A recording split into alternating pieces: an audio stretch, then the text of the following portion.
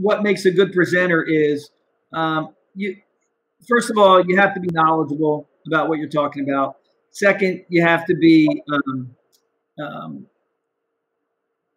well, besides knowledgeable, I mean, I lost my train of thought. What I was thinking, you have to be knowledgeable, and I, oh, I think you need to have some experiences uh, on what you're talking about. You know that you've been there and, and like it's happened to you, and you got to turn that those experiences into stories and tell stories. Just like I, I told you the story about Jagger out there when I was telling you about the wedding cake. Yeah. You know, I don't tell you the story about Jagger, uh, and I just tell you about the wedding cake. It doesn't really make sense. But when you you hear about Jagger and how he you know, was in, he was top of the wedding cake and how he took over control and tried to run everything.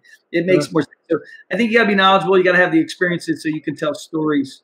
Um, so um, there was a there was going back to that. Uh, here's a story on the wedding cake again. Um, this kid in Pennsylvania, I forget what school it was at, but it's been a while ago, 2007 or eight. Um, I, I went to the school for two days. The first day, they just wanted me to observe. They didn't want me to do anything, just watch the kids at recess. And then the second day, I was doing doctor recess, and then I was doing an after school training with the teachers.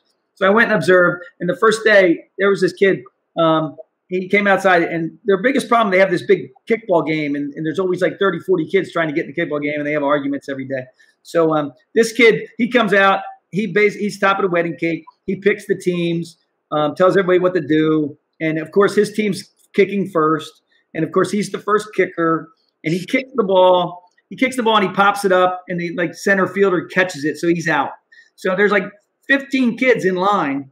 So he he's out. He goes to the end of the line, and now the second kicker goes, and he gets on base, and the third kicker goes and gets on base, and it goes gets down to about the sixth kicker now. They got like two kids on base. They've scored a couple runs, and there's one out or whatever. And all of a sudden, this kid's back at the front of the line. He's he weaseled his way up from like 15th in the end of the line and uh, you know before or after like only five or six people have kicked he's back at the front and i'm like why'd you guys let him up and they're like well he's really good if we let him kick we're to win so he basically top of the wedding cake has manipulated his way and told these kids hey i'm better than you so let me kick. And they let them do it. So you, you see stuff like that top of the wedding cake it drives you nuts but that's what kids do. Yeah.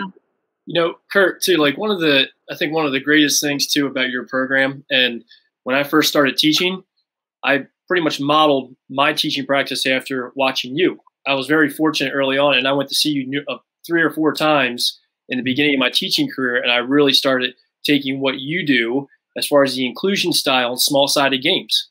It mm-hmm. makes a huge difference. Yeah, you know, oh yeah. The kickball game of having 15 kids in line, just making small sided games will eliminate a lot of those problems. Doing the inclusion style teaching eliminates a lot of those problems. You know, so kudos to you on you know introducing me to that early on because it changed my world.